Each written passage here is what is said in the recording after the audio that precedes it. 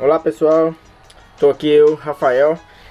Quero aqui por meio desse vídeo aqui explicar o que aconteceu com o meu canal, né? Pra quem me seguir aí no outro canal, no Rafael Ondon Sabe que, que o canal já não está mais ativo.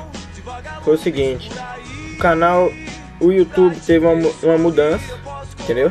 E essa mudança foi nos comentários lá, que não pode mais responder os comentários e tal E eu como sou um gênio da computação eu pensei que o problema era no meu canal, né?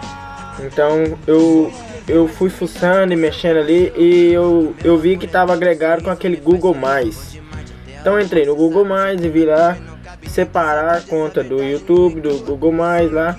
Aí eu pensei, ah, talvez o problema seja esse. Aí eu separei a conta do YouTube, do Google+, e fui tentar de novo deixar um comentário em um vídeo de alguém. E disse lá que eu teria que agregar essa conta no Google+. No que eu agreguei a conta no Google+, a minha conta do YouTube não virou mais o Rafael Ono, tava o nome, meu nome completo, que no Google+, no caso. E ficou sem foto, ficou sem um monte de coisa. Aí eu fui editar a foto do YouTube e pediu para me editar no Google+. Tudo então eu estava fazendo esse Google+. E no, no editar o nome do, do canal, para colocar Rafael Ono de novo, eu criei outras contas de outros, outros canais de YouTube, entendeu?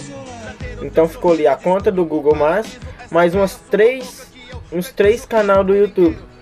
Aí eu falei, fazer login, clicava em fazer login, Rafael Londres tava lá, sem nenhum seguidor, sem nenhum, até que eu achei a minha, o meu canal, né?